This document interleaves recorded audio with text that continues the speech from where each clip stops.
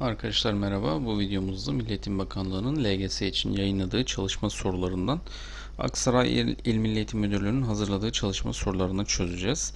Ee, hemen birinci sorumuzla başlayalım.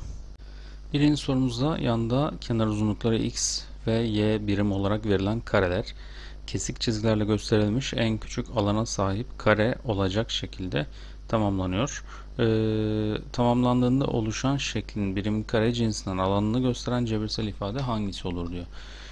E şimdi bunun e, uzunluğu x arkadaşlar. Burası da x, 2x. Bir y de bu var. Yani 2x artı y olur burası. 2x artı y.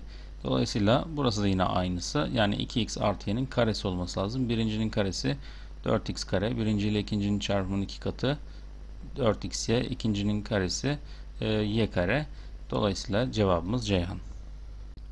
İkinci sorumuzda Yusuf Mart ayına ait yaprakları tek tek koparıp rastgele yere diziyor ve içlerinden bir yaprak seçiyor. Rastgele seçtiği takvim yaprağının salı gününe denk gelen asal sayı olma olasılığı aşağıdakilerden hangisidir diyor. Salı gününe denk gelen asal sayı olma olasılığı. Mart ayı 31 günmüş arkadaşlar.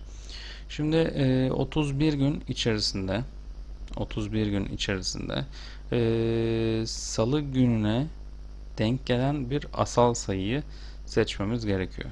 E şimdi bunu nasıl yapacağız? E, 1 Mart pazara denk geliyormuş. Buradan yola çıkarak yapacağız. Şimdi şöyle pazartesi, salı, çarşamba, perşembe, cuma, cumartesi, pazar şeklinde olsa 1 Mart pazara geliyorsa 2, 3, 4, 5, 6, 7, 8, 9, 10, 11, 12, 13, 14, 15, 16, 17, 18, 19, 20, 21, 22, 23, 24, 25, 26, 27, 28, 29, 30, 31 yapar. Şimdi salı gününe denk gelenlere bakalım. Salı gününe denk gelenlerden asal olan 3 var. 17 var ve 31 var. Yani 3 tane. Dolayısıyla 31'de 3 diyeceğiz. Cevabımız Ceyhan. Üçüncü sorumuzda melek hesap makinesinin ilk baş, bastığı tuş sıfır olmamak şartıyla herhangi iki rakama basıp e, karekök sembolüne basmaktadır. Melek en az kaçıncı kez karekök sembolüne bastığında sonuç kesinlikle bir irrasyonel sayı çıkar. Şimdi arkadaşlar burada iki rakama basıp dediğine göre demek ki iki basamaklı rakamlar oluşturuyor. iki basamaklı sayılar oluşturuyoruz. Bu iki basamaklı sayıları da karekök tuşuna bastığımız zaman bir e, tam sayı e, çıkacak şekilde ayarlamamız lazım. Kesinlikle irrasyonel sayı çıkar dediğine göre e, elimizdeki bütün tam sayıları öncelikle elememiz lazım. Yani tam kare sayıları elememiz lazım. Şimdi iki basamaklı dediğine göre iki basamaklı en küçük tam kare sayı 16. Mesela 1'e bastı, 6'ya bastı ve karekök tuşuna bastı. E, cevap 4 diye çıkar karşımıza. E, sonra yine 16'dan sonra 5'in karesi 25 var.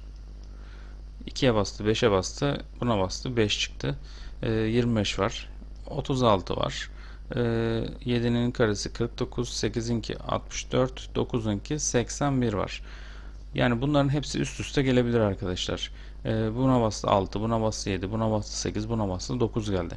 Ama bunu yaptıktan sonra e, tekrar bastığı zaman, tekrar bir sayı yazdığı zaman iki basamaklı başka asal sayı, başka e, tam kare sayı kalmadı. Dolayısıyla 1, 2, 3, 4, 5, 6 kere karekök tuşuna bastığı zaman bir tam sayı çıkabilir. Yani rasyonel bir sayı çıkabilir. Ama 7. defa bu işlemi yaptığı zaman yazdığı sayı tam kare olmayacağı için sonuç kesinlikle irrasyonel olacak. O yüzden cevabımız Denizli. Dördüncü ve son sorumuza geldik arkadaşlar. Aksaray 4 soru yayınlamış. Ee, yarıçapının uzunluğu R olan e, bir çemberin çevresi 2 pi vermiş. Ee, yarıçap uzunlukları kök 2 birim ve kök 3 birim olan iki çember bir birim aralıklarla bölünmüş olan sayı doğrusu üzerinde sırasıyla eksi 5 ve 8 noktalarında bulunmaktadır. Bu noktadan ok yönünde tam bir tur döndükleri zaman aralarındaki mesafenin orta noktası hangi iki tam sayı arasında olur diyor. Şimdi arkadaşlar bunları birer birim döndüreceğiz ama birer birim döndükleri zaman bunlar çevresi kadar ilerlemiş olur. Yani 2 çarpı pi çarpı r bu. 2 çarpı pi çarpı r bu ilerlemiş olur. 2 kere 3 6 6 kök 2 bu da 6 kök 3 ilerlemiş olur. E şimdi yaklaşık değer olarak 6 kök 2 kaçtır? 6 kere 6 36. 2 ile çarptığımız zaman 72. Kök 72. Bu da e, 6 kere 6 36. 3 ile çarptığımız zaman kök 108. E şimdi 72'nin 50'nin arasında kök 64 ile e, kök 81 arasında yani 8 ile 9 arasında 8'e daha yakın bir ifade. Dolayısıyla e, bunu 8,4 gibi yaklaşık bir değer alabiliriz. E, bu da e, kök 100 ile arkadaşlar kök 100 ile kök 121 arasında. E, bu da e, yine e, 10'a yakın bir ifade. 10'a yakın bir ifade olduğu için bunu da yaklaşık olarak 10,3, 10,4 gibi bir şey alabiliriz.